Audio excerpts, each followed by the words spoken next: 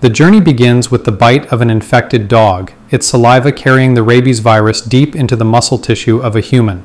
From this entry point, the virus doesn't travel in the blood. Instead, it seeks out the ends of local nerve cells. Upon finding a nerve ending, the virus attaches and injects its genetic core into the neuron, starting a silent invasion. Now, inside the nervous system, it begins a relentless one way journey, moving upward from the initial nerve into larger nerve bundles. This ascent is slow but constant, as the virus is transported along the neural pathways, next reaching the dorsal root ganglia and entering the spinal cord.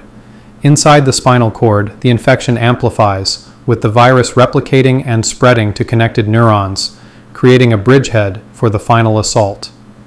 From here, it's a direct path into the brainstem, where the virus explodes in replication attacking areas controlling breathing, heart rate, and behavior, leading to agitation and hydrophobia.